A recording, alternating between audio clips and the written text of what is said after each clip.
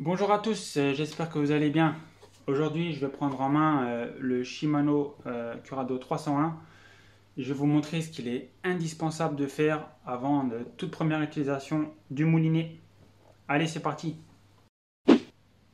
Bon les amis, alors ce matin, j'ai récupéré, j'ai reçu mon petit Shimano Curado 301 alors déjà un petit coup d'œil sur le packaging.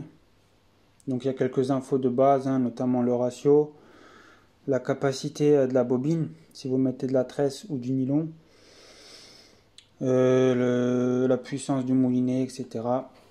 La taille aussi. Donc euh, rapidement, j'aimerais vous montrer quelque chose de très important. J'aimerais vous montrer ce qu'il est indispensable de faire selon moi avant toute utilisation du moulinet. Déjà, une petite vue d'ensemble. Voilà, il est un peu plus grand euh, que le 201 que j'avais avant. Curado, euh, c'est vraiment les meilleurs moulinets. Vous pouvez y aller les yeux fermés. Euh, c'est des moulinets que vous trouvez entre 200 et 300 euros en fonction du modèle. Et honnêtement, il vaut mieux mettre ce prix-là et au moins avoir de la qualité qui vous tiendra de nombreuses années. Euh, donc euh, le ratio, moi j'ai choisi ce ratio. C'est du 4-7, donc pour ceux qui ne savent pas ce que ça fait, ce que ça veut dire. Donc 4,7 tours de bobine à chaque tour de manivelle. D'accord? Tout simplement. Euh, pourquoi j'ai décidé de partir sur un ratio aussi bas? Parce que d'une manière générale, j'ai remarqué que lors de mes pêches, je ramène beaucoup trop vite mes leurres et en fait, je prends pas le temps de prospecter les zones en profondeur. Et en fait, euh, c'est un gros problème parce que chez moi, dans la plupart des postes où je pêche, il y a au moins 4 mètres d'eau. Même pour le brochet, euh, il ne faut pas hésiter à chercher les grosses profondeurs. Alors rapidement, euh, ce qu'il faut faire selon moi, c'est tout simplement lubrifier le moulinet. Alors pour cela, j'ai sorti la notice. Donc ils ne le, disent pas clairement euh, comment procéder euh, à la lubrification du moulinet. Il dit juste qu'il est recommandé de euh, lubrifier le moulinet avec un peu d'huile et un peu de graisse et qu'il faudrait apporter le moulinet au moins une fois par an en entretien chez Shimano. Donc déjà gros point négatif, j'ai regardé dans la boîte s'il n'y avait pas de pipette d'huile compris dans, dans le moulinet avec l'achat du moulinet. Donc j'ai récupéré une ancienne pipette euh, d'un ancien moulinet qui me reste. Après, euh, la partie suivante, c'est tout simplement de l'observation de votre moulinet. Par exemple, euh, on va mettre un peu de lubrifiant sur toutes les parties métalliques qui sont en rotation. Voyez, je vais en mettre un petit peu là, un petit peu là, euh, un petit peu là sur le frein, euh, sur le frein étoile. Ici, euh, c'est le frein magnétique. Je pourrais complètement le dévisser et mettre une toute petite goutte de lubrifiant. Et bien sûr, on va pouvoir ouvrir ici la bobine. Donc, je pourrais en mettre un petit peu à l'intérieur. Et donc là, la bobine, à mettre un petit peu aussi ici. Alors, je me suis équipé euh, d'un petit chiffon pour euh, pouvoir essuyer euh, l'excédent de d'huile.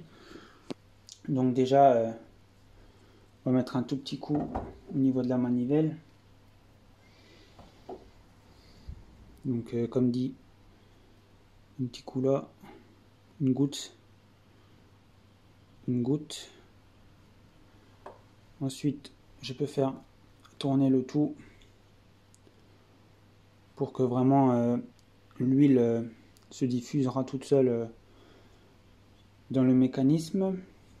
Donc ensuite, petite goutte là, petite goutte là.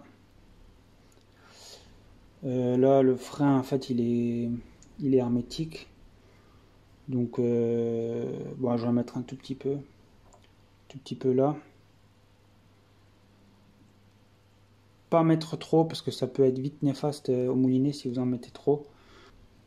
À l'intérieur, pour en mettre un petit peu. sur la petite vis là, je vais mettre, enfin sur la petite vis, sur le petit système là, je vais mettre euh, un tout petit peu. J'enlève un peu l'excédent. Comme ça, la bobine euh, sera bien fluide. Donc ici, comme dit, hein, juste une petite goutte à chaque fois. Ça sert à rien de tartiner euh, votre moulinet. Ensuite, je viens remettre le moulinet, la bobine dans le moulinet. Voilà, ça tout le monde sait faire.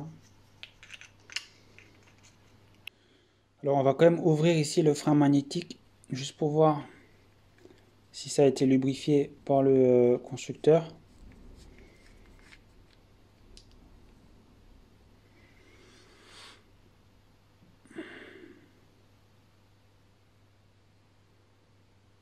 On va mettre euh, une toute petite goutte, les gars. Une toute petite goutte. Voilà, suffit amplement.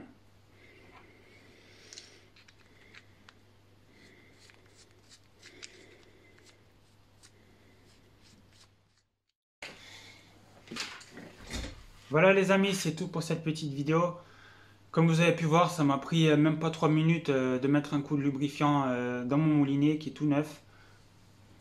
Donc à présent, euh, je peux tranquillement euh, mettre ma tresse sur la bobine et euh, procéder au réglage du moulinet. Donc j'espère qu'on se retrouve très bientôt pour une situation de pêche. Ciao tout le monde